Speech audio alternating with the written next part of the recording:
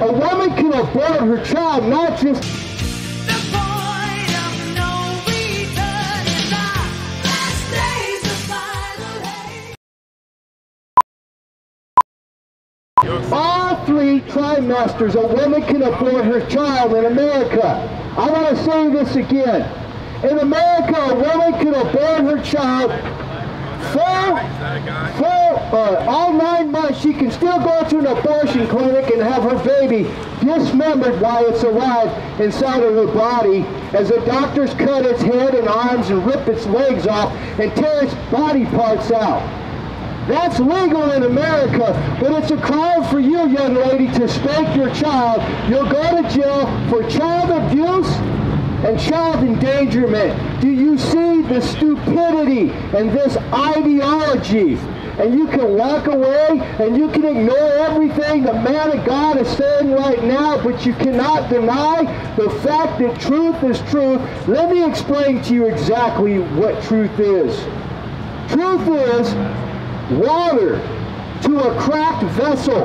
As soon as you put water into a lie, the truth will find the chink inside of the armor of the lie and would begin to expose the lie by leaking out. So if I have a cup that I want to drink a cup of tea or coffee with, Brother Ray, and I pour some hot coffee in that cup and it has a crack. It's going to find that crack and it's going to leak out. This is what truth is to a lie. Hallelujah.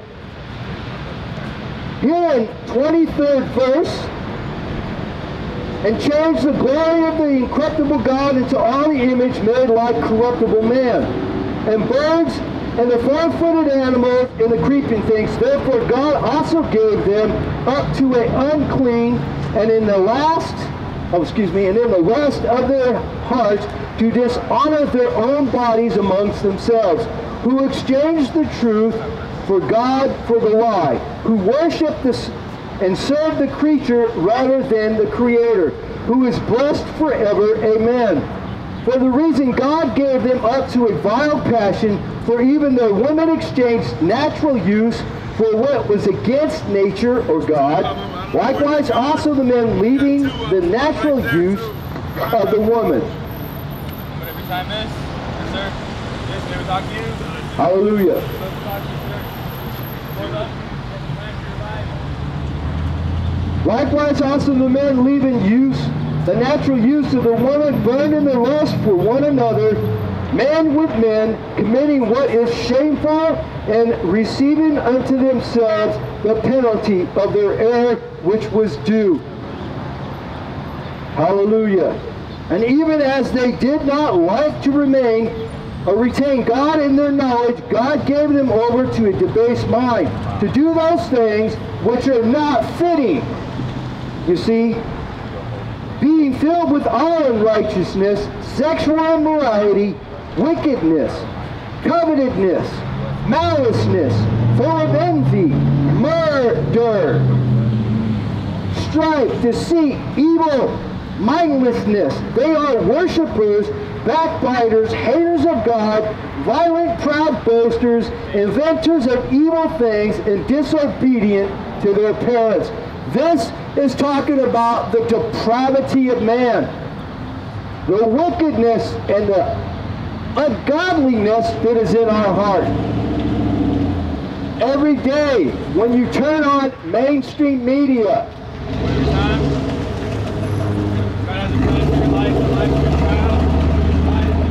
you will find a story where some young person has pulled out a gun and shot and killed somebody else. This is another instance of the folly of man's rationale. The more the government outlaws guns and say that they're an evil weapon, the more gun violence takes hold of the United States of America. Out. We're coming out. Morning, guys.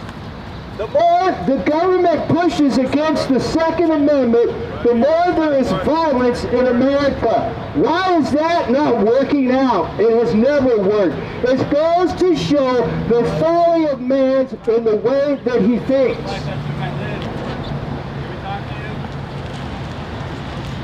Hallelujah.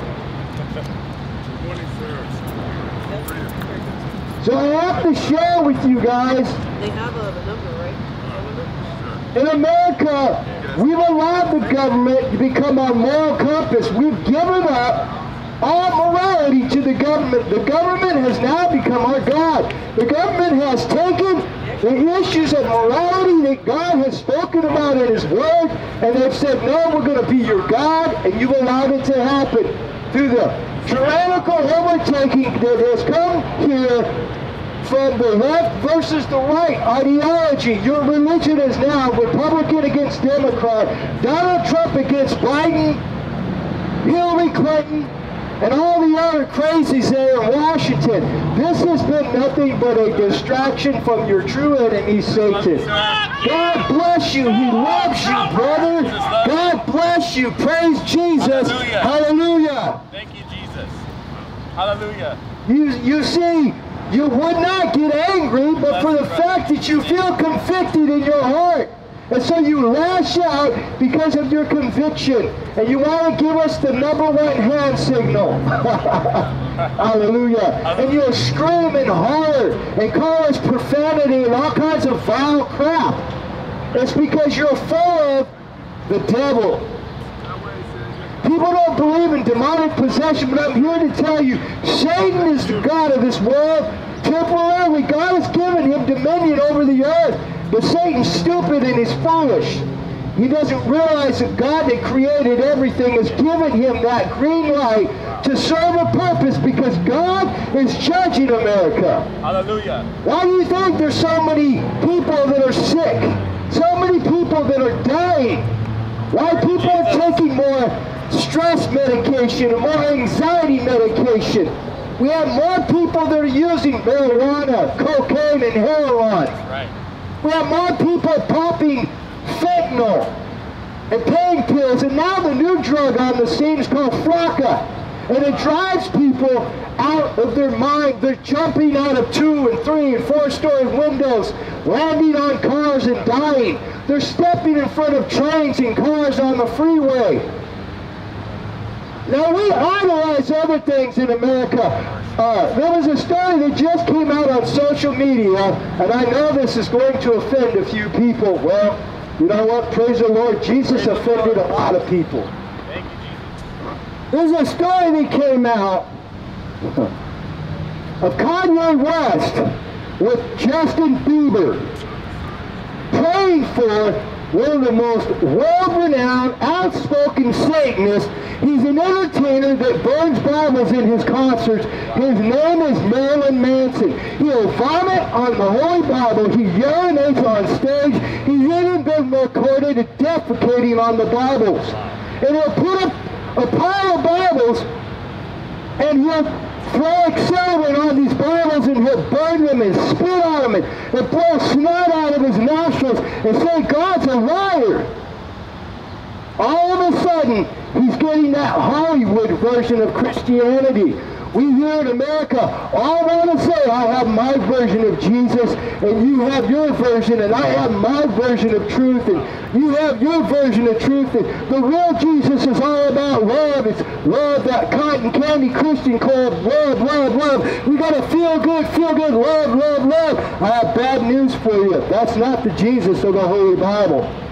That Jesus is a righteous God, and he's, guess what? He's a sovereign God. He's going to righteously judge each and every one of us. We're going to stand alone, my neighbor.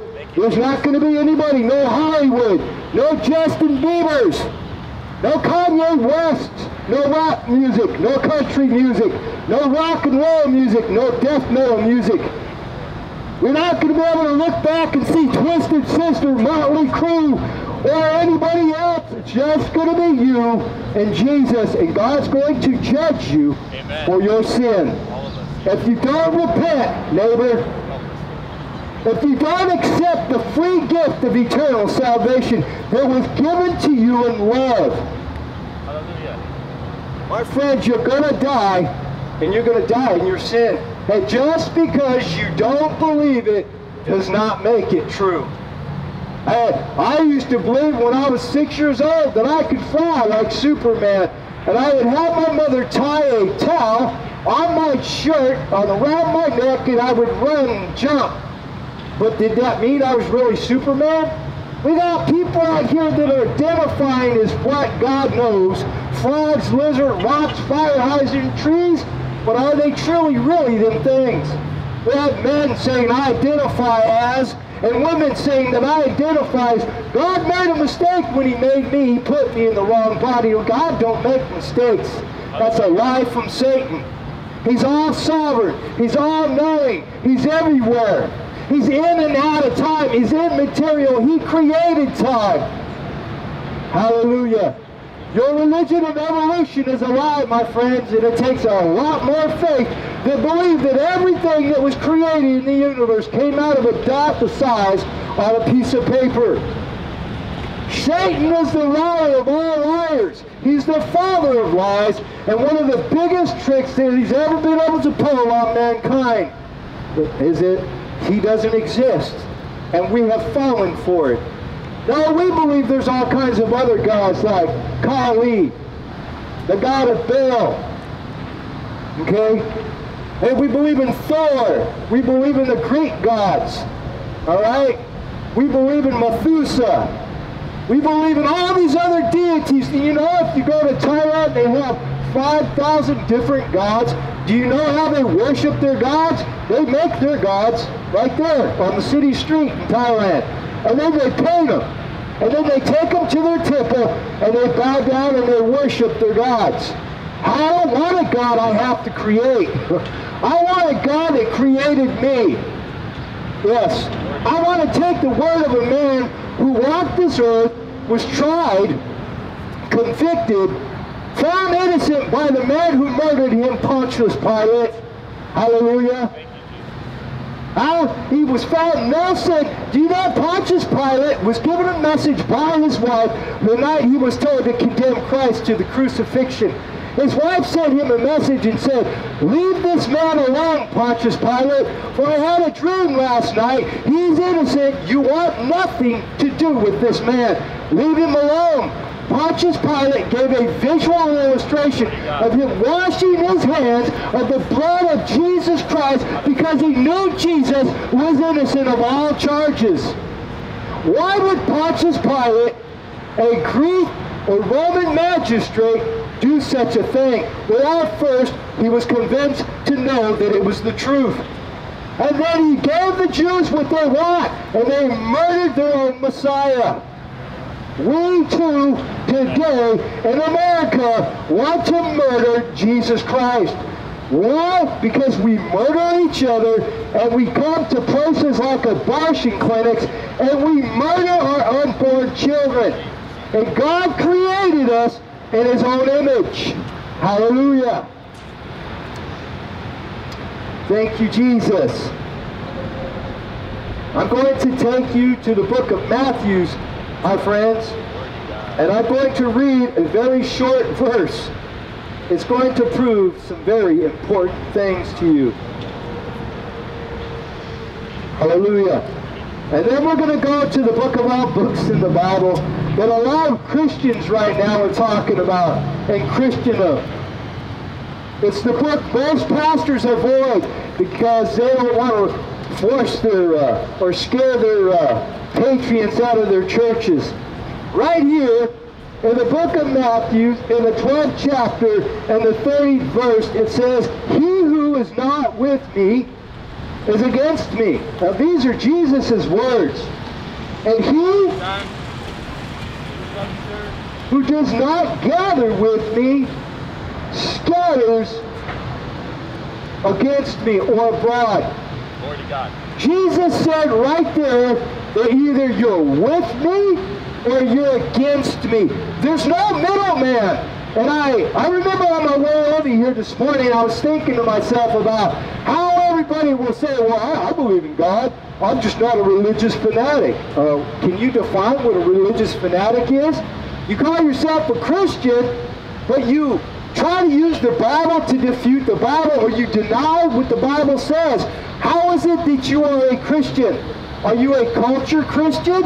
You just identify as a Christian because you don't know what else to say? Or are you truly born again? Have you accepted Jesus into your heart? I'm going to read a verse out of the book of Revelation that explains why everything is taking place today that is taking place in our culture. It's going to explain to you exactly why our government is doing the things that they're doing and why soon and very soon Christianity will be outlawed. Hallelujah. We're going to the book of Romans, or Revelation, excuse me.